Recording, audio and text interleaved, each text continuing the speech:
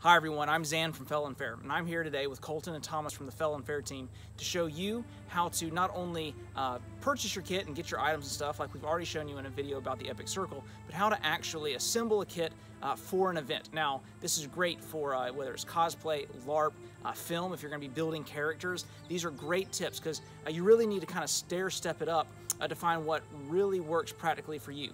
So, as you can see, we've already started. We have no armor on. Um, is it? Well, actually, he's got a Gambeson on. You do have a Gambeson. So you're, you're a little ahead of the game here. A little bit. Okay, well, Cole, he's kind of beating you. So anyway, so Thomas already has a, uh, a Gambeson on. So, so Thomas, why don't you tell us uh, a little bit about the Gambeson and what you like about it? Well, part of what I like about a Gambeson is one, it looks stylish. Two, it makes a great jacket for any sort of character, gives you a regal appearance. It does add a point of armor in our armor system. It's very light, it's very flexible, so I still get to keep all of my mobility. Buttons up nicely, and then if I did want to add any other layers onto it, it's a great base piece to continue to build up. So the Gambeson looks great, and it provides a point of armor, which is key in any sort of kit. Uh, it's definitely something that uh, somebody in this period would be thinking about when they're choosing their garments. You call that armor? That's not armor.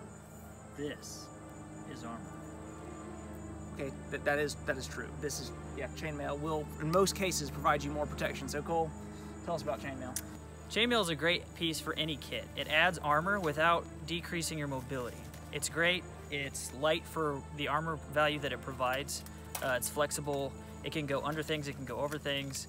Uh, it's basically just the quintessential hero piece. And from a historical perspective, chainmail has been used by so many cultures throughout history that it's almost universal and fits with everything. What about your hands? And your feet? That is something to consider. Thomas, what you got on? Here, I'm wearing steel Bazubands and matching plate for my greaves. You can use plate armor to subsidize in different places that are high value targets in combat, such as my arms and my legs. I don't have to wear it everywhere. It's a little heavy, but it gives great armor points during any battle, and also it's easily customizable to give your character a little extra personality. If your character or culture do not allow you to use steel plate, Lamellar or splinted steel provide a historically accurate alternative with similar protection value. What else you got? Well, while I am a Kingsman and I could put on more armor, I'm feeling like fighting light today. I think I'm good. You ready for this? Let's do this.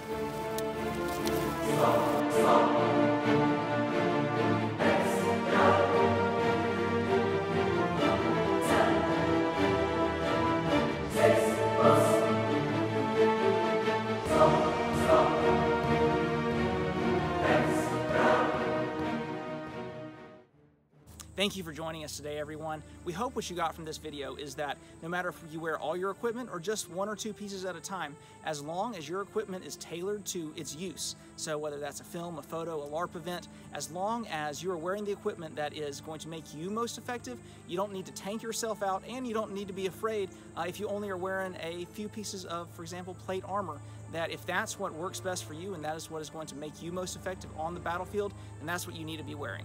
All of this armor came from Epic Armoury, so check them out. Uh, you can find their website online. Also, like, comment, subscribe, share with your friends. Hopefully, you found this helpful. If you did, please let us know. We'd love to see what kits you make. Uh, we'd love to see uh, how this inspired you to uh, work with the resources you have to make your event, your next character, really, really great. Thanks a lot. Have a good day.